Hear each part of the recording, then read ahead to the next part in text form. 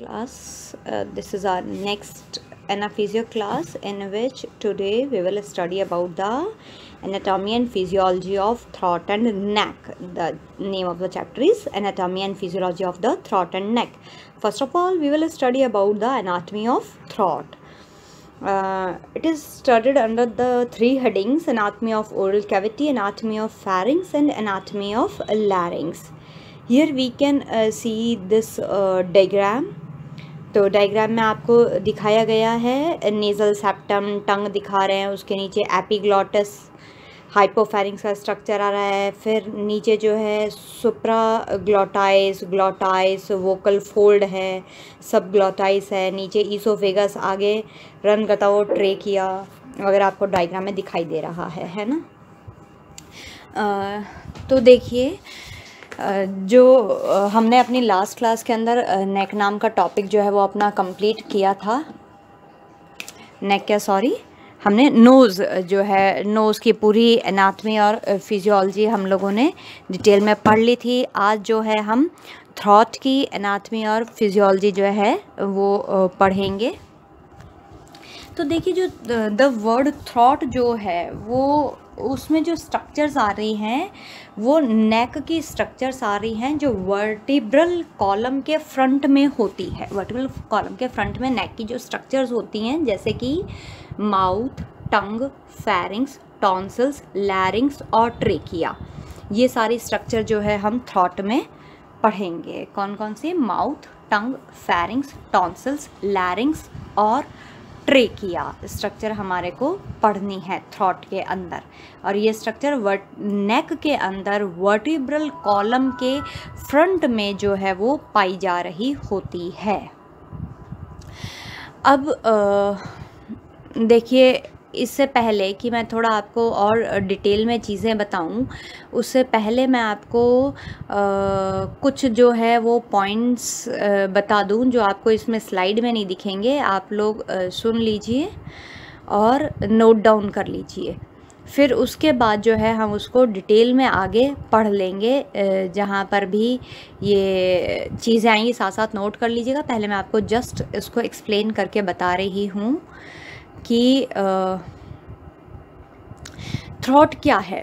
Throat is a ring like muscular tube it is the passage way for air food and liquid it also helps in forming speech भाई throat एक ring like muscular tube होती है। Air food और liquid का passage वे होती है और ये हमें बोलने में सहायता प्रदान करती है। Now the throat is made up of voice box, epiglottis, tonsils and adenoids. Voice box जिसको अपन लैरिंग्स कह रहे हैं फिर एपिग्लॉटिस आता है उसके बाद टॉन्सल्स और एडनॉइड्स आते हैं। अब वॉइस बॉक्स यानी लैरिंग्स क्या है? Larynx is a cylindrical grouping of cartilage muscles and soft tissue that contains the vocal cords the vocal cords are the upper opening into the windpipe that is trachea the passage way to the lungs तो क्या बताया मैंने आपको? English मैंने बोल के बता दी ताकि आप आराम से उसको नोट कर सकें और मैं बता देती हूँ, समझा देती हूँ मैंने क्या बोला। मैंने कहा कि लैरिंग्स जो है एक सिलेंड्रिकल ग्रुप है, जिसमें कार्टलेज मसल सॉफ्ट टिश्यूज़ का पूरा ग्रुप बना हुआ है, जिसके अंदर वोकल कॉर्ड्स पाए जाते हैं। ये वोकल कॉर्ड्स ऊपर की ओपनिंग है जो ट्रेकिया में खुल रही है। वोकल कोड्स एक अपर ओपनिंग है जो ट्रेकिया यानी विंड पाइप में खुलती है।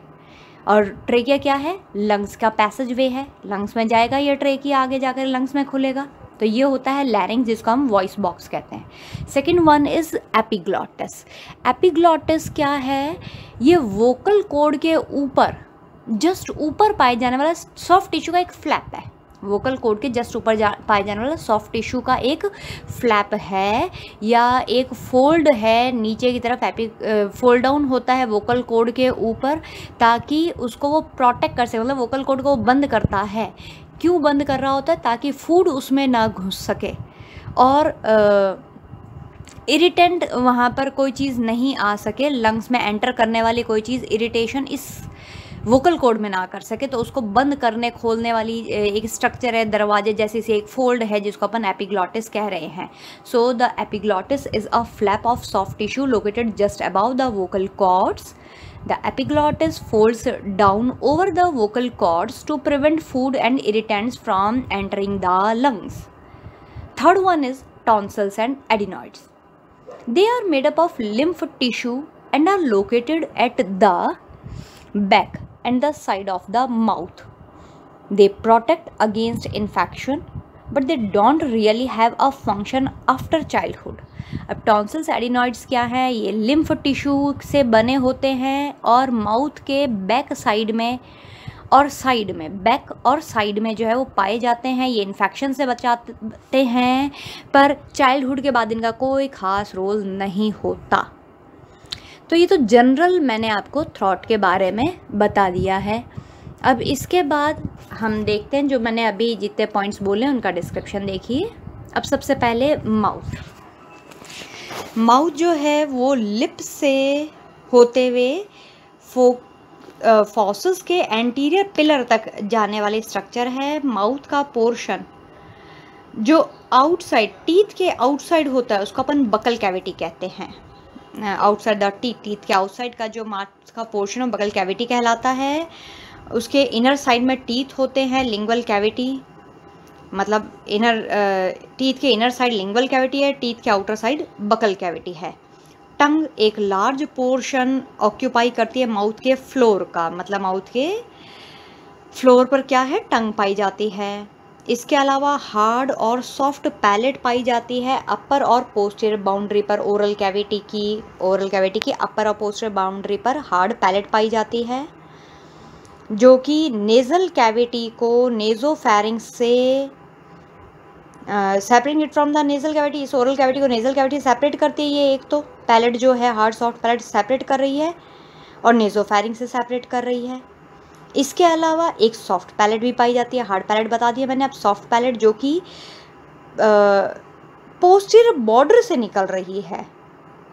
हार्ड पैलेट के पोस्टर बॉर्डर से निकलती है सॉफ्ट पैलेट होती है। अवलवा से अवलवा वो बना रही होती है जो कि एक फिंगर लाइक मूवेबल प्रोजेक्शंस होते हैं। अब अवलवा के दोनों साइड जो है adjacent to the base of the tongue tongue के बेस के एडजस्टेंट साइड मतलब पास वाली साइड के अंदर anteriorly base to the to the base of the tongue anteriorly and the pharynx posteriorly anteriorly और पोस्टरली क्या पाया जा रहा है? फेरिंग्स पाया जा रहा है।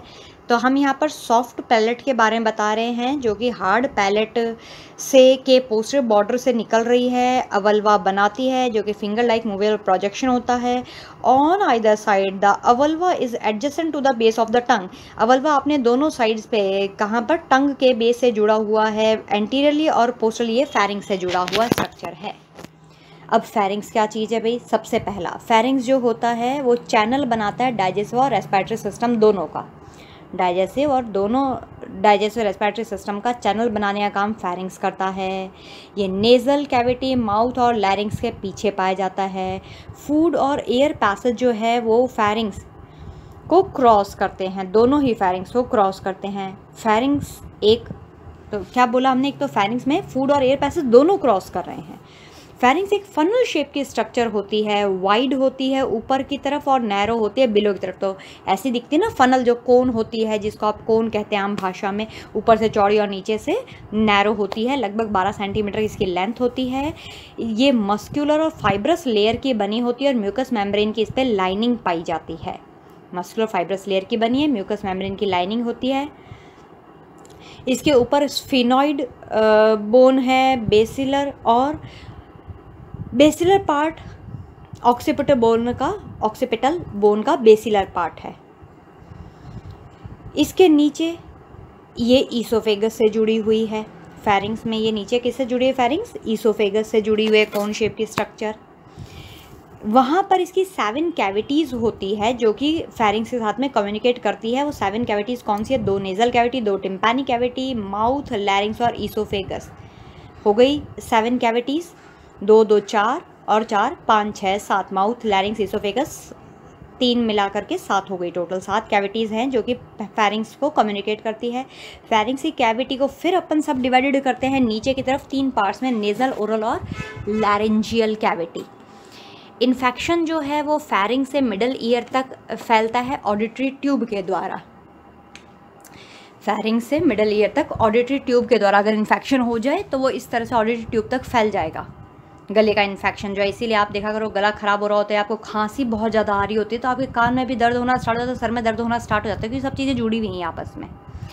अब ये ऑडिटरी ट्यूब जो है, वो कैथेट्राइज करती है नॉस्ट्रल के थ्रू नॉस्ट्रल जो है हमारे, वो कैथेट्राइज कर रहे हैं ऑडिटरी ट्यूब को।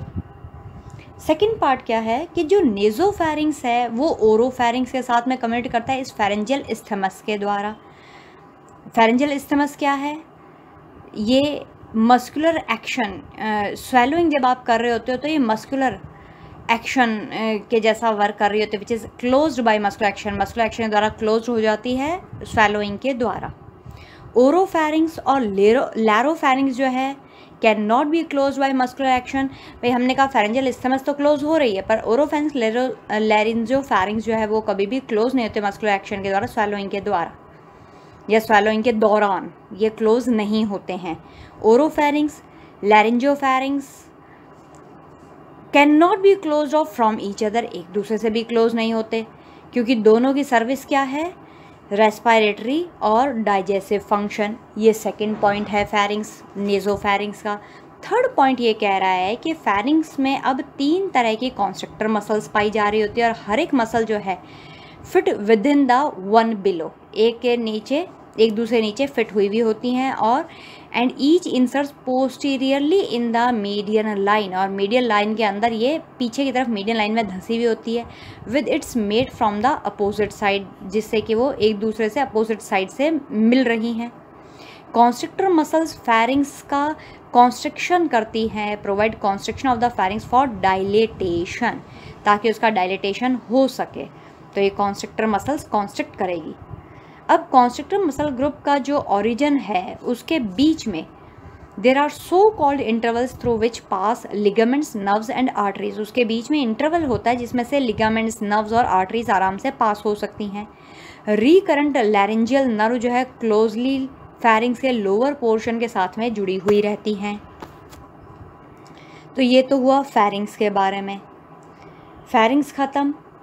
अब टॉन्सल, हम पढ़ रहे हैं, माउथ हो गया फैरिंग्स हो गया, टॉन्सल क्या है? टॉन्सल जो है ओरोफेरिंग्स के दोनों साइड पर सिचुएटेड रहते हैं और टॉन्सल फोसा के अंदर लॉज्ड रहते हैं, पाए जाते हैं, जो कि अटैच रहते हैं attach to folds of membrane containing muscles muscle युक्त मेम्ब्रेन के फोल्ड से ये जुड़े हुए रहते हैं, टॉन्सिल फोसा के अंदर पाए जाते हैं।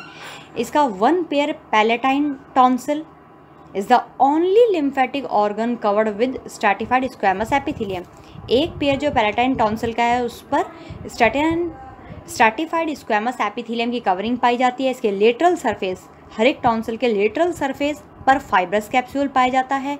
एंटीरियर और पोस्टर टॉन्सिलर पिलर जो हैं, वो जुड़ करके ट्राइंगुलर फॉसा बनाते हैं और पोस्टर लेटरल आस्पेक्ट पर, टंग के बेस के पोस्टर लेटरल आस्पेक्ट्स के साथ में ये ट्रायंगुलर फोसा बना रहे हैं। तो इसको अपन पैलेटाइन टॉन्सल्स कहते हैं, जो हर एक फोसा के अंदर पाई जाती है। अब एडिनॉइड क्या है? अभी मैंने थोड़ी देर पहले भी एडिनॉइड के बारे में बताया था, जिसको अपन फेरेंजल टॉन्सल कहते हैं। ये नेज़ो फेरिंग से रूफ से लटकी हुई, जो उसमें धसी हुई रहती है। और लिम्फर टिश्यू के एक्यूमुलेशन को रखती है, या उसके बनी होती है, लिम्फर टिश्यू के एक्यूमुलेशन से एडिनॉइड्स बनी हुई होती है। दूसरी चीज़ टॉन्सल्स की जो आर्टरीज होती हैं, वो अपर और लोअर पोल में घुस रही हैं। टॉन्सल्स सप्लाई मतलब टॉन्सल्स को सप्लाई करता है ब्लड प्राइमरीली टॉन्सिलर ब्रांच से आता है और असेंडिंग पैलेटाइन ब्रांच से आता है फेशियल आर्टरी की। फेशियल आर्टरी की असेंडिंग पैलेटाइल ब्रांच से आ रहा है। ये कौन सी है? ये branches of the external carotid artery facial artery जो है एक्सटर्नल कैरोटिड आर्टरी की ब्रांच होती है। वहाँ से ये, इसको ब्लड सप्लाई हो रहा है टॉन्सल को। एक्सटर्नल कैरोटिड आर्टरी जो है, वो दोनों साइड होती है, पीछे की तरफ़ और लेटरल की तरफ़ टॉन्सिल के। टॉन्सिल के लेटरल पीछे की तरफ़ दोनों साइड में जो है एक्सटर्नल कैरेटरी आर्टरी पाई जाती है। जो नर्व है, जो टॉन्सिल को सप्लाई कर रही होती है, वो मीडियल पोस्टर पेल्टाइन ब्रांच जो है, उससे आ रही है। किसकी ब्रांच है? पैलेटाइन ब्रांच मैग्जिलरी और ग्लोसोफेरेंजियल नर्व्स की। तो ये आपका टॉन्सिल ख़त्म। टॉन्सिल के बाद नेक्स्ट स्ट्रक्चर है लैरिंग्स और उससे एसोसिएटेड स्ट्रक्चर्स अब लैरिंग सबसे पहले अपन पढ़ रहे हैं।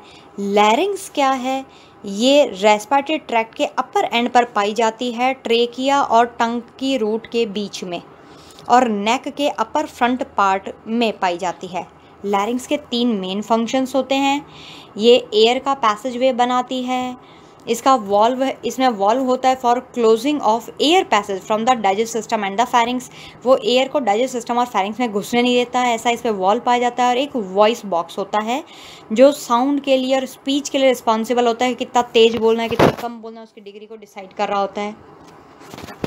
दूसरा लैरिंग्स जो है कार्टिलेजिनस बॉक्स है, जो कि फोर्थ फिफ्थ और सिक्स सर्विकल वर्टिब्री के फ्रंट में पाया जाता है। लैरिंग्स का अपर पोर्शन कंटिन्यू होता है फैरिंग्स के ऊपर जा रहा होता है इसका लोअर पोर्शन जो है, वो ट्रेकिया को ज्वाइन करता है। स्केल्टल स्ट्रक्चर जो है, वो एनक्लोज एयरवे की पैटेंसी प्रोवाइड करती है। कॉम्प्लेक्स मसल एक्शन और टिश्यू का जो अरेंजमेंट है इस स्ट्रक्चर के अंदर वो ट्रॉमा वगैरह से प्रोटेक्शन देने के लिए ल्यूमन को क्लोज करके रखता है और ये जो क्लोज क्लोज़र है, उससे ना केवल प्रोटेक्शन मिल रही है, बल्कि फॉरेन बॉडी वगैरह भी अंदर नहीं जा पाते।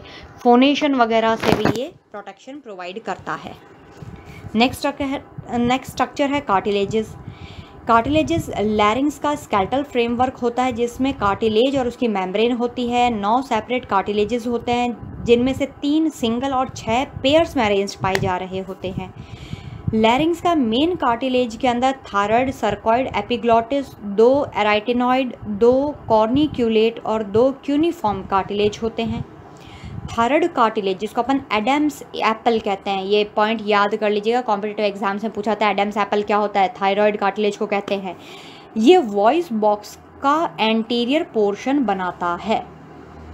सर्कॉइड कार्टिलेज सिग्नेट रिंग के जैसा होता है thyroid cartilage rest beneath the thyroid cartilage और थायरॉयड कार्टिलेज के नीचे आराम करता रहता है, और लेरेंजो ट्रेकल स्पेस के अंदर पाया जाता है।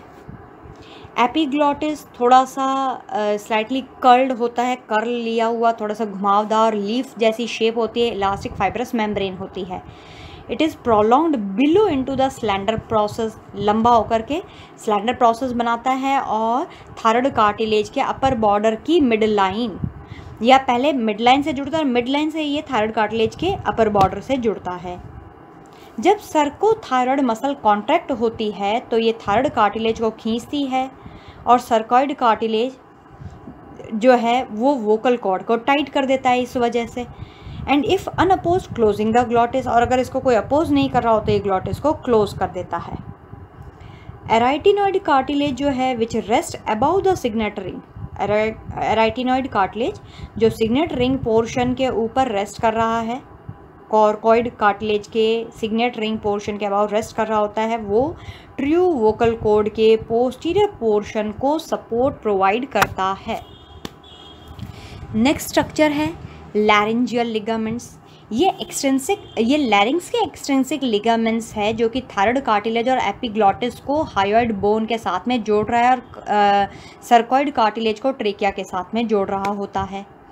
जबकि इंट्रेंसिक लिगामेंट्स क्योंकि दो तरह के लिगामेंट्स होते हैं एक्सट्रेंसिक और इंट्रेंसिक लिगामेंट्स लैरिंग्स के इंट्रेंसिक लिगामेंट्स जो हैं, वो ऑर्गन्स के बहुत सारे कार्टिलेज को एक दूसरे साथ में जोड़ने का काम कर रहा होता है। लैरिंग्स ये लैरिंग्स के इलास्टिक मेम्ब्रेन माने जाते हैं। लैरेंजियल लिगामेंट्स जो हैं, वो लैरिंग्स की इलास्टिक मेम्ब्रेन माने जाते हैं। अब लैरिंग्स ब्लेंड की जो म्यूकस लाइनिंग है The mucous lining of the larynx blends with the fibrous tissue to form two folds of the east side of the larynx. larynx के दोनों साइड दो फोल्ड फोल्ड्स बनाते हैं larynx blend larynx की mucous lining fibrous tissue के साथ में blend होकर के larynx के दोनों साइड पे दो folds बनाते हैं अपर सेट को अपन false cord कहते हैं और लोअर सेट को अपन ट्रू वोकल कॉर्ड कहते हैं ये वो दो तंतु हैं जिससे आपकी आवाज़ आ रही होती है जिसको अपन वोकल कॉर्ड कहते हैं तो अपर सेट को फॉल्स कोड्स और लोअर सेट को अपन ट्रू वोकल कॉर्ड्स कहते हैं because they are primarily concern with the speaking voice बोलने की आवाज़ से जुड़े होते हैं लोअर रेस्पिरेटरी चैनल को ये प्रोटेक्शन प्रोवाइड करवाते हैं और फ़ूड और फॉरेन बॉडी को अंदर घुसने से रोकते हैं। बस, इसके साथ आपका ये थ्रॉट का पोर्शन यहाँ पे ख़त्म हो रहा है आज की क्लास का। नेक्स्ट हम अपने नेक्स्ट क्लास के अंदर पढ़ेंगे। आज के लिए इतना काफ़ी है। Thank you class thank you